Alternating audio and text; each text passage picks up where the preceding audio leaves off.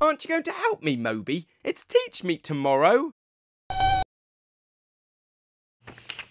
Dear Tim and Moby, I've been asked to explain Teach Meet, but as you guys are the best at explaining things, will you do it instead? No problem. Teach Meet is a meeting of, well, teachers.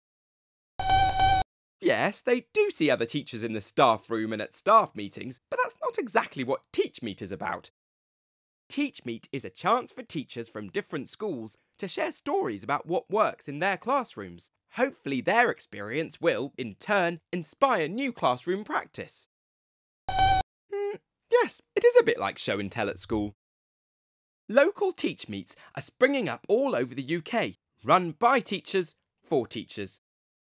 Teach Meets are a constantly evolving community event.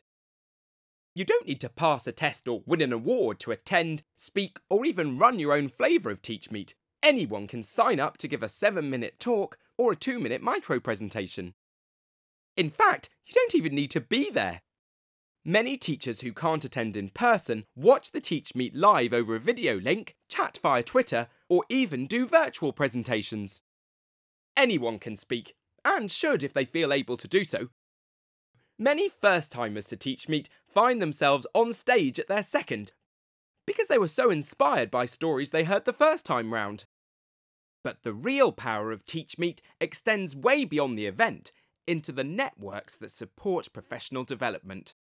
Whether these networks are real or virtual, the power of the idea is increased by the exposure and discussion it generates. Research evidence indicates that best practice is often fostered by inspired teachers who are actively involved in continuing professional development, or CPD. And that's why Teach Meets are so important. Oh, and by the way, at Teach Meets, presenters are randomly selected. This helps keep things interesting and encourages participation.